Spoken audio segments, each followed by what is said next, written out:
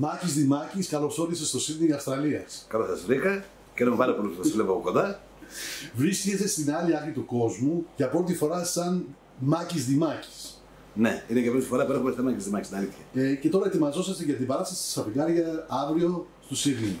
Μπορείτε να μας πείτε τα, τα συναισθήματά σας, πώς αισθάνεστε τώρα για αυτή τη μεγάλη πόλη. Αισθάνομαι πολύ όμορφα. Ε, έχω παίξει για Έλληνες σε άλλες χώρες, εκτός Ελλάδος εννοώ. Ε, είναι η πρώτη φορά που έρχομαι ως Μάκης Δημάκης στην Αυστραλία και αισθάνομαι πολύ περήφανος που το κατάφερα να το κάνω και αυτό, να δω τους Έλληνες από κοντά. Τους είχα δει πριν 20 κάτι χρόνια, είναι αλήθεια. Έχω, άρα έχω πολύ καιρό να τους δω. Πρέπει να τους δω τώρα να τους εξεκαθάσω, να περάσουμε όμορφα. Ε, θα παίξουμε στο Σίδνεϊ Παρασκευή, Σάββατο Μελβούρνη, ε, Αδελαίδα την επόμενη Παρασκευή και θα γυρίσουμε πάλι Μελβούρνη και θα γυρίσουμε πίσω Ελλάδα μετά. Η οικογένεια σας ξέρει από πρώτο χέρι την έννοια της μετανάστευσης και της ξενιτιά αφού γεννήθηκε στη Γερμανία. Έχει μια ιδιαίτερη έννοια ότι θα τραγουδήσει στους Έλληνες της Αυστραλίας; Κοίταξε, δεν μπορώ να πω ότι ακριβώς αντιλαμβάνομαι τους Έλληνες που είναι έξω, γιατί έφυγα μωρά από τη Γερμανία, που μεγάλωσα στη Θεσσαλονίκη. Οπότε ε, έχει, ε, έχει έννοια για μένα να μαζεύονται οι Έλληνες και να διασκεδάζουν και να περνάνε καλά. Οπουδήποτε είναι αυτό, είτε είναι στην Ελλάδα, είτε είναι στην Αυστραλία, είτε είναι στην Αμερική, γιατί θα πάω και εκεί. Ε, έχει μεγάλη σημασία για μένα οι Έλληνες να ενώνονται χέρι με χέρι και να χορεύουν, γιατί αυτό είναι τρόπος ζωής. Αυτό μας χρειάζεται και αυτό ξέρουμε να το κάνουμε πάρα πολύ καλά οι Έλληνες και ελπίζω να μην σταματήσουμε ποτέ να το κάνουμε. Σαν παιδί ή έφηβος, τι ήταν η σχέση σου με τη μουσική, είσαι από οικογένεια κα, μουσικών; Καταρχήν να έχεις υπόψη ότι ένα από τα πρώτα τραγούδια που έγραψε και τραγούδισα το 2005 ήταν το Σαν παιδί. Ένας τίτλος τραγουδιού. Ε, που δεν έκανε μεγάλη επιτυχία, όπως τα έκαναν τα κανείς, δεν έκαναν και αυτά. Οπότε τελικά το Σαν παιδί, σαν παιδί ήταν ένα πολύ ωραίος τίτλος. Ε, κοίταξε, ε, δεν έρχομαι από μουσική οικογένεια όσον αφορά τους γονείς μου. Ήταν καλήφωνη, είναι, είναι καλήφωνη και η μητέρα μου, ήταν και ο πατέρας μου καλήφωνο. Ε, έρχομαι από αδερφό μουσικό, ο οποίος είχε τη μουσική μέσα στο δωμάτιο το παιδικό, μόνιμα, και ήταν δεδομένο για μένα ότι θα μάθω κάτι να τραγουδάω, να παίζω. Και έτσι έγινα μουσικός, έγινα μπουζουξής. Και μετά έγινα τραγουδιστής. Στα 19 σου είσαι μπουζουξής για, για μεγάλα ονόματα. Όπως η Βίκη Μοσχολιού. Ήμουν, ήμουν καλός. Ο νου Φερναντό Δεν θα, δεν θα πενευτώ για τη φωνή μου, για τον μπουζούκι εκείνα τα χρόνια ήμουν καλός. και στα 22 σου χρόνια δουλεύεις και με τον Γιώργο Δαλκαίο για 3,5 χρόνια. Okay. Ε, Πώς χαρακτηρίζεις αυτά τα χρόνια, τα βλέπεις πίσω σαν νοσταλγικά ή σαν ρεαλιστής, τα βλέπεις σαν σταθμούς στην καριέρα σου; Έχουν νοσταλγία γιατί καταρχήν είναι χρόνια που ηλικιακά είμαι νέος και είμαι ξένιαστος. Έτσι. Όπως και να έχει, ε, σε ό,τι επάγγελμα και να είσαι, εκείνα τα χρόνια είναι μοναδικά και δεν γυρίζουν πίσω. Εκείνα τα χρόνια ήταν οι συνεργασίες. Οι δουλειέ που πήγαινα τότε δεν μπορούσα να πω συνεργασίες γιατί ήμουν παιδί, ήμουν νέος. Ήταν σκαλοπάτια γιατί ήταν σχολείο για μένα. Όλη αυτή που δούλεψα. Από, ε, και ως μουσικός και ως τραγουδιστής. Είχα την τύχη να δουλέψω με τον Πασχάλη Τερζή, με την Ελένη Βιτάλη, με την Κέτι Γκρέι, με την Πέγγι Ζήνα, με τον Αρκαίο, με τη Σαμίου τότε στα τουζένια τους. Ε, με πάρα πολλούς τραγουδιστές. Με τον Μεσικά Δημοσχολείο ως μουσικός, ε, με τον Πουλόπουλο, με ένα σωρό κόσμο. Ήμουν νέος και η εμπειρία η δική τους έγινε, για μένα, έγινε για μένα βίωμα, έγινε για μένα σκαλή μάθημα υποσυνείδητα. Χωρίς να ξέρω ακριβώς τι, άκουγα καλούς τραγουδιστές, άκουγα καλούς μουσικούς και έγινε για μένα σχολείο αυτή. Ενώ άρχισε την καριέρα σου σαν μπουζουξής, πώς έγινε αυτή η μετάβαση από μπουζουξής σε τραγουδιστής; Ε, είχα πάντα την αίσθηση του να τραγουδήσω.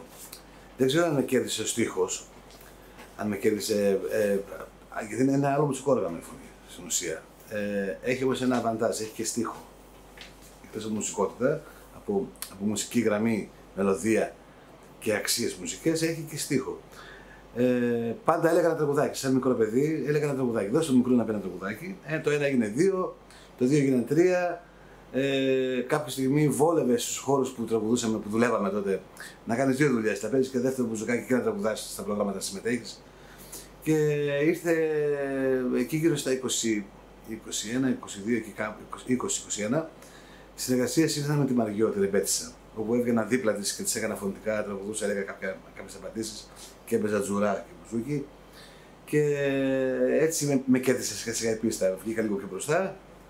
Μου άρεσε σαν παιδί, οπότε με κέρδισε το τραγούδι. Ε, σαν καλλιτέχνης τραγουδιστής, πώς γίνεται η επιλογή τα τραγούδια που θέλεις εσύ να ηχογραφήσεις.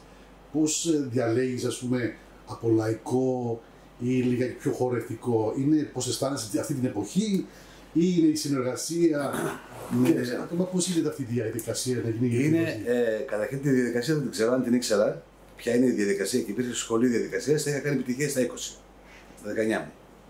Ε, είναι η στιγμή, σου αρέσει ένα κομμάτι, σου βγάζει κάτι ένα κομμάτι, ε, αντιλαμβάνεσαι ότι μπορείς να το επικοινωνήσεις με αυτό που το ακούει, που είναι βασικό, είτε είναι χωριστικό, είτε είναι μπαλάντα, είτε είναι ζεμπέκ, οτιδήποτε, ε, και το, το γράφεις. Τη στιγμή που το γράφεις, μπορεί να σου βγει κάτι το οποίο είναι ξαφνικό, κάτι, κάτι που να, να γεννηθεί εκείνη τη στιγμή. Δεν μπορείς να πεις ότι αυτό θα γίνει επιτυχία. Επιτυχία θα, θα κάνει μόνο ο κόσμος. Δεν θα κάνει ούτε ο τραγουδιστής ούτε ο συνθέτης. Ο τραγουδιστής και ο συνθέτης και ο στιχουργός απλώς θα γράφουν, βγάζουν ένα κομμάτι της ψυχής τους μέσα σε ένα κομμάτι χαρτί, μέσα σε ένα κομμάτι ηχογραφημένο. Ο κόσμος θα αγαπάει και θα κάνει επιτυχίες, ο κόσμος συνδέεται με τα τραγούδια και με το στίχο και τα κάνει γνωστά σε όλο, σε όλο τον κόσμο. Τα κάνει γνωστά στην Ελλάδα, στην Αυστραλία, στην Αμερική παντού. Δεν υπάρχει δηλαδή κλειδί. Είναι, είναι η στιγμή, να είναι μια ωραία στιγμή ηχογράφησης, να είναι μια ωραία στιγμή κατάθεσης στο live και από εκεί και πέρα ο κόσμος το κάνει επιτυχία. Δεν υπάρχει μυστικό, ε. Όχι, δεν υπάρχει μυστικό. Υπάρχουν έμπειροι συνθέτες που αυτή είναι η δουλειά τους, υπάρχουν έμπειροι παραγωγοί που αυτοί είναι να, να οραματίζονται και να βλέπουν τι θα ακολουθήσει, τι θα έρθει. Αυτό θα αρέσει στον κόσμο κατά προσέγγιση. Ο τραγουδιστής είναι ένα εκτελεστικό όργανο. Βάζει την ψυχούλα του με το στίχο του σε ένα κομμάτι. Ε, έχετε μια έκπληξη για μας που έχετε ετοιμάσει ένα καινούριο τραγούδι α, και θα το, κάνετε, θα το, θα το πείτε, θα το τραγουδήσετε στο, ε, αύριο. Θα το τραγουδήσω εδώ live. Η αλήθεια είναι ότι δεν είναι πρώτη φορά, το έχω τραγουδήσει και στη Θεσσαλονίκη μερικές βραδιές πριν μα πιάσει η καραντίνα, το κλείσιμο των μαγαζιών. Δεν έχει κυκλοφορήσει ακόμα. Ε, το τραγούδι είναι και μην πιστέψεις. Ε, είναι του Κώστα Σαμνίδη και του Δημήτρη Χαϊτούτη. Είναι πολύ ωραία παλάντα, πολύ ερωτική. Είναι για τους χωρισμένους. Ε, το πρόγραμμα της Παρασκευής, ε, τι ετοιμάζετε, ε, τι πρόγραμμα ετοιμάζετε, μπορείτε να μας πείτε μια περιγραφή. Το πρόγραμμα που κάνουμε και στην Αθήνα και στη Θεσσαλονίκη, το οποίο είναι αμυγός χορευτικό, διασκεδαστικό. Ε, πάντα ήμουν έτσι, θα ήθελα απλά τα πράγματα. Ήθελα ο κόσμος να διασκεδάσει και δεν πρέπει ούτε πολλά ούτε πολλά, ούτε πολλά πράγματα. Ε, να χορέψουμε, να περάσουμε ωραία, να ζήσουμε τη στιγμή πιο πολύ από τη φωτογραφία. Πιο πολύ τη στιγμή παρά τη φωτογραφία. Εντάξει. Τα χάρηκε πάρα πολύ. Καλή συνέχεια. Να είστε καλά, να περνάμε καλά, να έχουμε υγεία, να προσέχουμε την υγεία μας και σίγουρα θα τα λέμε συχνά και θα περνάμε όμορφα.